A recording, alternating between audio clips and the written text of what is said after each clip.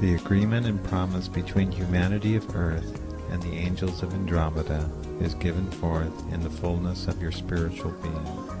You are being guided to your destination by your galactic soul twin that is approaching and sending out the call that harmonizes with yours. Magnetize around the viewpoint of your own conscious awareness in order to get perspective and balance. As you see into the central sun, understand this is the point of connection and become aware of the center of essence where you are continuing to spiral into and beyond. When working with higher intelligence, there is a gap between what is being felt and what is being understood. You are always in the gap between the words and the realization, between the realization and the awareness, and between the awareness and the manifestation. There are points upon which you have faith and knowing that what is being wanted or created is within reach, and then there is passion and enjoyment upon reaching a point of presence.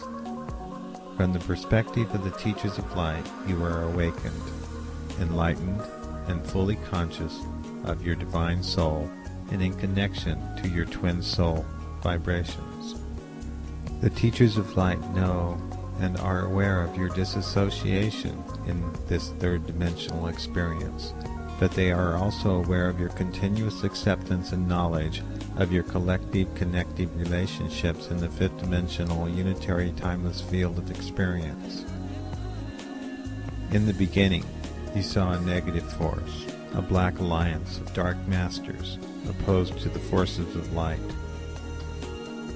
You are not what you think you are, and they are not what you think they are.